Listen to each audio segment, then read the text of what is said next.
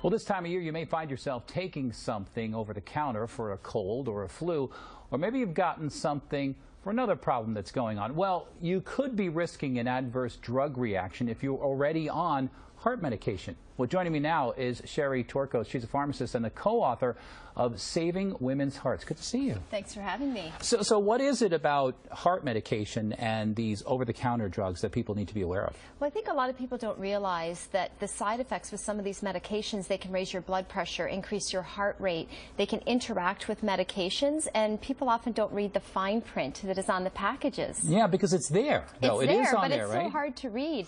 It's very small type, and I think there's an assumption that because you can buy these products over the counter without a prescription, that they're safer and therefore you don't have to worry about it, but you do have to worry, and you should always check with your pharmacist when yeah, you're selecting products. And pharmacists are there for that very exactly. purpose, right? It's a good yes. idea. So what are some factors that increase the chances that you might have an adverse reaction if you go for an over-the-counter remedy? Okay, advanced stage, so people over age 60, 65 are at greater risk of having side effects or adverse drug reactions and also interactions. If you're taking multiple medications or if you have chronic diseases such as heart disease, diabetes, diabetes, glaucoma, prostate disease, some of the ingredients in the over-the-counter drugs could interact with your health condition. I want to go through some of these because yes. there are some common drugs that people take for, for common problems. I want to start here with some decongestants. You know, a lot of people are probably taking these decongestants.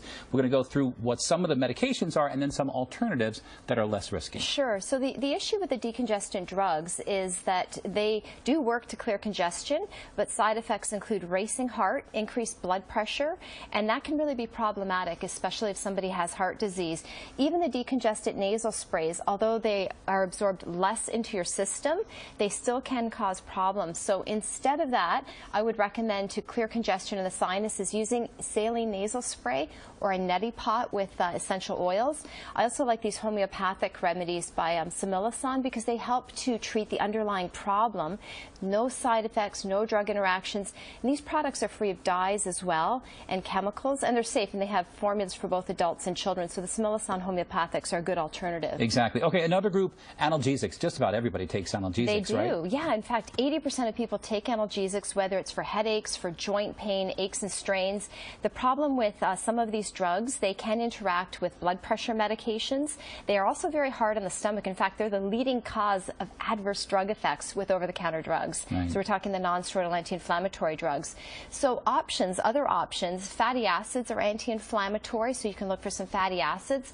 I also like supplements that contain, it's an ingredient called NEM. It's actually derived from the membrane of eggshells, and it provides pretty quick relief. So if you have osteoarthritis, sore aching joints, and you want something to help reduce the pain, but also improve your flexibility and joint health, you can look for these supplements with the NEM. There's the Membrell and uh, Joint Care, whoops, and then okay. uh, this one here as well with the NEM. So those are helpful. The point is there are alternatives even there for aches alternative, and pains. And actually, these are clinically studied too. So these these aren't things that uh, we don't like know whether we're exactly. Right. We know, know that there's work. good evidence here, and some of the other supplements like glucosamine, chondroitin, they can help, but they sometimes take a month or longer mm. to work. Whereas the supplements with the NEM, they do work in about seven to ten days. That's the thing because people want the result right away. They want something quick. All right. So uh, sleep aids, another thing people yes. are always looking for. Yes, sleep aids, and the active ingredient in most sleep aids is actually an antihistamine, either uh, diphenhydramine or doxylamine, mm -hmm. and that can cause dry eyes, dry nose, dry mouth. They can also interact with some medications that you take for your heart,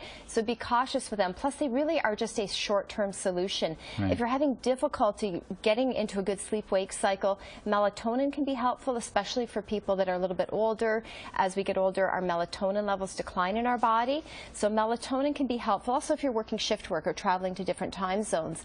And I also like these supplements. They contain an amino acid called suntheanine, and it helps to make you feel more calm, more relaxed. It helps you to get a better night's sleep, better quality sleep, without waking up the next day feeling drowsy or groggy or having any issues with your memory. Right.